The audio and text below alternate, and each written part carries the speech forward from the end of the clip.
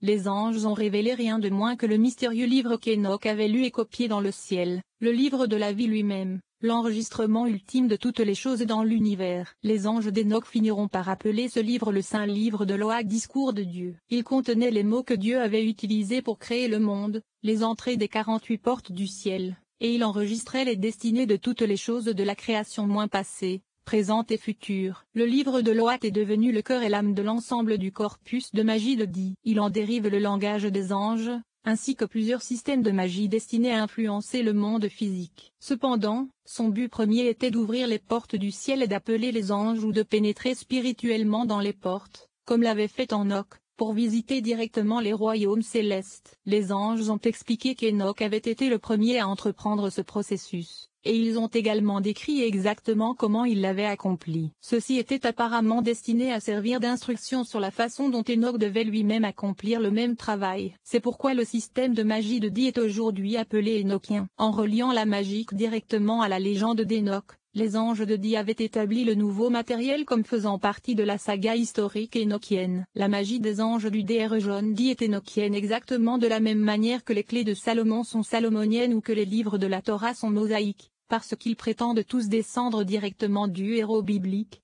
ou être écrits par lui, dont ils ont adopté le mytho. Chapitre 2 Ce qu'est la magie enochienne D'un point de vue technique, le terme magique énochienne peut désigner tout système d'occultisme qui s'inspire des écrits ou du mytho d'Enoch. Le système d'occultisme énochien de loin le plus célèbre au monde est celui enregistré par John Dee et Edvard Kelly. John Dee a été présenté à Edvard Kelly à la fin de l'année 1582. Dee avait déjà employé un scrier, Barnabasso, pour parler avec les anges, mais n'était pas satisfait des résultats obtenus par cet homme. Il s'avéra que Kelly était un excellent médium, sans compter qu'il était aussi un étudiant en alchimie, et les deux hommes devinrent rapidement partenaires dans leur quête spirituelle. Au cours des six ou sept années suivantes, Kelly passait des heures par jour à regarder dans une boule de cristal pendant que dit récitait des prières et des invocations pour appeler des entités angéliques. Lorsque Kelly déclarait avoir des visions dans la pierre, Guy interrogeait les anges et enregistrait ce qu'ils lui révélaient. Ce que les anges ont révélé est ce que nous appelons généralement aujourd'hui la magie énochienne. Ce nouveau système a été donné à Guy et Kelly en trois phases, l'heptarchia, le jeu bophal, les parties de la Terre et la grande table de la Terre,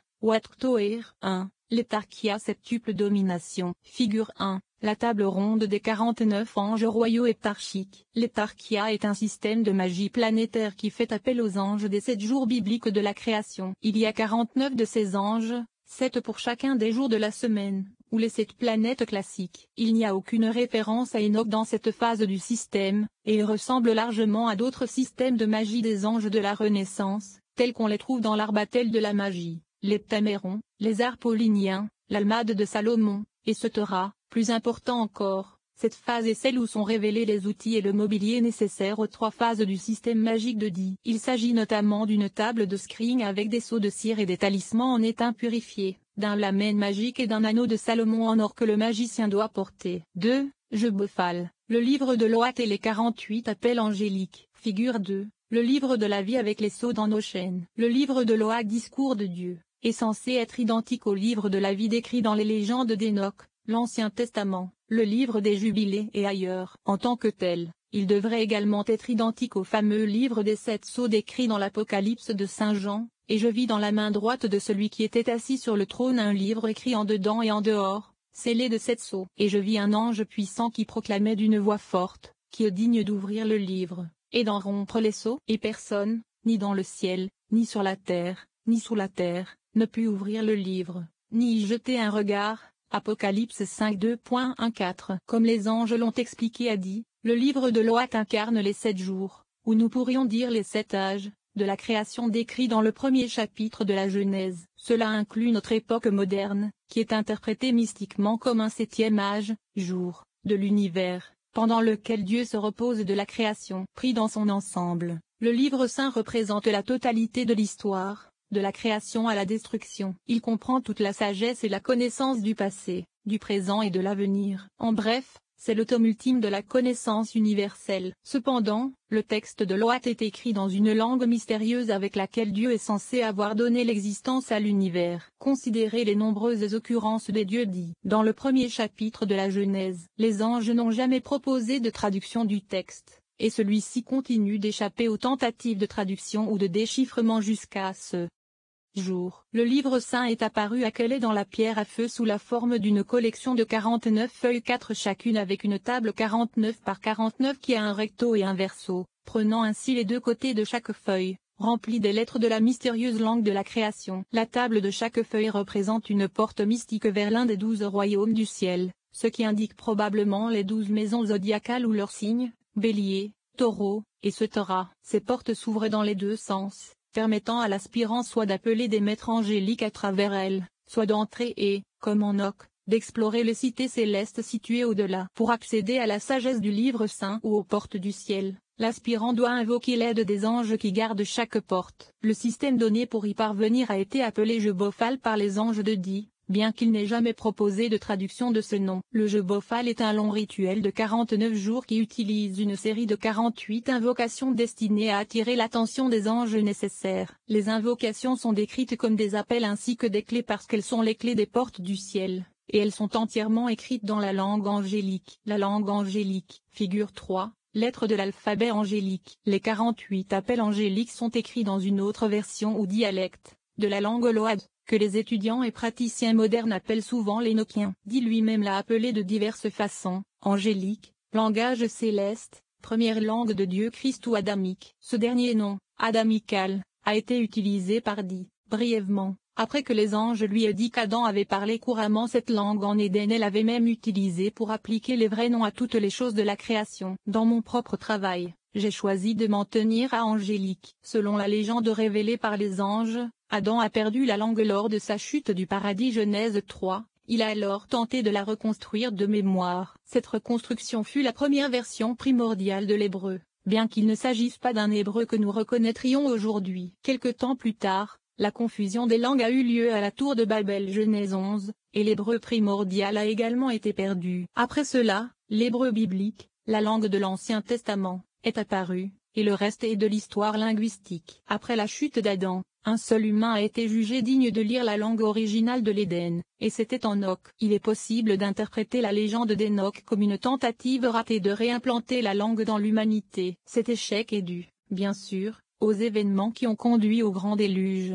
Genèse 6-8, au cours duquel toute la sagesse d'Enoch a été perdue. Heureusement, les appels angéliques révélés à dit ont reçu des traductions libres, et plusieurs efforts ont été déployés au fil des ans pour créer des dictionnaires exploitables de ces mots. J'ai apporté ma propre contribution, que j'ai publiée sous le titre Tangélical Langage, volume I, The Complete History en Mytho of the Tongue of Angel et Tangélical Langage, volume I, Encyclopédique Lexicon of the Tongue of Angel. Ces projets étaient assez massifs, prenant 10 ans et plus de 900 pages pour être achevé. Étant donné que j'y aborde le sujet de matière aussi exhaustive, je vais économiser de l'espace ici et renvoyer le lecteur à ses livres pour en savoir plus sur la langue des anges. Comme je l'ai dit précédemment, Loat est le pivot central de tout le système de magie de Di. Les anges de l'Eptarchia sont directement associés au livre. Ils sont mentionnés dans le texte et ont également participé à sa transmission à Di et Kelly. De plus, la pratique du jeu Bofal nécessite les mêmes outils et meubles de screen que ceux utilisés dans le système Heptarchia. Enfin, Loag semble être la source principale de la troisième phase du système énochien, les parties de la Terre et la grande table de la Terre, tour de garde. Figure 4. La grande table originale. Les parties de la Terre. La phase finale de la magie s'est déroulée en deux parties. Le premier est appelé les parties de la Terre, dans lequel le monde est divisé en 92 régions d'influence géopolitique royaumes, nations et même cultures, gouvernées par les signes du zodiaque et les anges dirigeants. Ces rois zodiacaux gouvernent leurs régions, ou parties, du monde avec l'aide d'un grand nombre d'anges serviteurs. Toutes ces entités ont une influence directe sur leur propre partie de la terre, et donc apparemment sur la les nations qui y résident. En invoquant ces anges, Di espérait probablement exercer sa propre influence sur les nations étrangères ou, à tout le moins, les espionner à distance. Les pièces et les trente étirent. Il y a 92 parties de la Terre répertoriées dans les journaux de Di, bien que l'une d'entre elles soit cachée. C'est pourquoi Di y faisait souvent référence comme aux 91 parties de la Terre. Ces 91 parties sont réparties entre les 30 dernières tables de Loat, qui représentent les 30 cercles du ciel appelés les étirs ou étherware, du vivant de Di, et, en fait, jusqu'à une date assez récente dans l'histoire des sciences. Le mot étir était signifiait les régions supérieures de l'espace, le ciel clair, les cieux. Ainsi, Les trente étirs du système énochien sont en fait trente cieux qui s'étendent de la terre jusqu'au trône de Dieu. On peut accéder à chacun de ces étirs ainsi qu'à leur partie de la terre, en récitant l'appel angélique pour la table loite appropriée. Le mage a alors le choix de voir cette nation à travers la pierre de cristal ou même de visiter spirituellement la nation directement via une forme de projection éthérique ou. Bien que ces cieux à éthérique soient décrits comme étant empilés les uns sur les autres, ce n'est qu'une illustration. Les 91, ou 92, parties sont mieux vues comme étant étendues horizontalement sur la Terre. Les 30 étirs représentent le firmament visible ciel, où habitent les étoiles anges, tandis que les parties représentent les régions du monde gouvernées par ces étoiles. La grande table de la Terre, Watktoir, une fois qu'Odi reçut les parties de la Terre, il reçut la deuxième pièce de la phase 3, la grande table de la Terre. Il s'agit d'une grande table magique, ou carré de mots, formée en prenant tous les noms des 92 parties et en les arrangeant sur une grille massive de 25-27. La table résultante peut alors être décomposée en quatre tablettes distinctes de 12-13 reliées entre elles par une grande croix centrale contenant quelques lettres et plusieurs carrés vides. Dit désignerait cette croix centrale comme la croix noire probablement une référence alchimique et la croix de l'Union. Les quatre tablettes qui l'entourent sont appelées tours de guet, d'après l'imagerie biblique telle que celle-ci, j'ai placé sur tes murs. Jérusalem, des sentinelles qui ne se tairont ni jour ni nuit, Isaïe 62, 6. Comparez cela à la déclaration suivante sur la grande table faite par l'un des anges de Di, Ave, les quatre maisons sont les quatre anges de la terre, qui sont les quatre surveillants et tours de garde que Dieu a placés contre le grand ennemi, le diable. Ces quatre surveillants angéliques sont probablement les quatre archanges kérubes lion,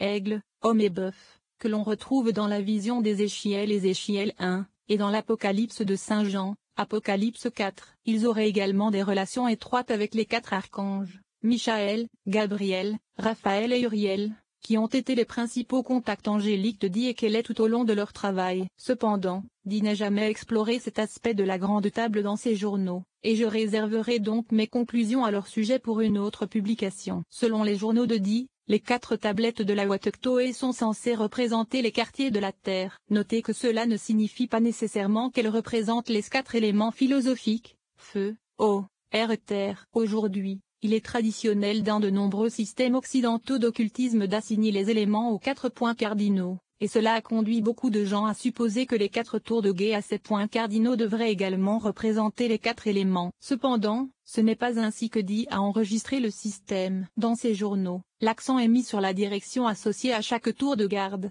et elles ne sont jamais décrites comme des tablettes élémentaires. Alors que le système des parties de la Terre accorde une influence sur des nations individuelles, la grande table couvre des quarts entiers du monde en une seule fois. Lorsque Di a demandé comment les quatre quarts de la carte devaient être répartis entre les tours de guet, les anges ont donné la réponse énigmatique et peu utile suivante en fonction de vos pôles. C'est bien beau pour le nord et le sud, mais où sont exactement les pôles est et ouest de la Terre? Nous avons aujourd'hui le méridien d'origine, mais il s'agit d'un point arbitraire qui a changé de nombreuses fois au cours de l'histoire. Notre méridien d'origine moderne a été fixé en 1884, bien après la vie de Di, il n'y a aucune indication dans les journaux de Di sur l'endroit où les est et ouest de la Terre devraient être divisés. Je pense que les quartiers couverts par les tours de guet sont destinés à être géopolitiques plutôt que géographiques, c'est-à-dire que, tout comme les parties de la Terre, ils ne représentent pas des étendues de terre spécifiques mais plutôt des communautés de personnes. Alors que les parties se concentrent sur des nations individuelles, les cas représentent les quatre civilisations du monde. Vous en entendez parler plus souvent que vous ne le pensez. Dans des termes comme nation occidentale ou culture orientale, vous trouverez ci-dessous une liste des quatre civilisations du monde et quelques exemples de pays ou de régions qui appartiennent traditionnellement à chaque catégorie.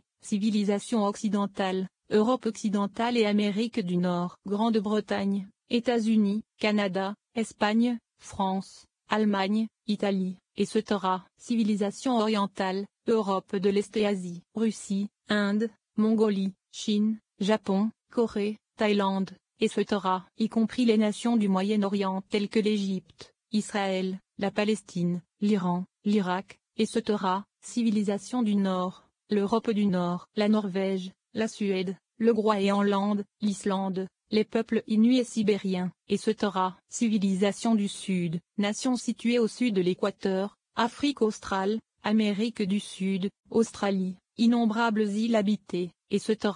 Ces quatre classifications se sont probablement développées dans les temps anciens, peut-être lorsque Rome régnait sur le monde occidental.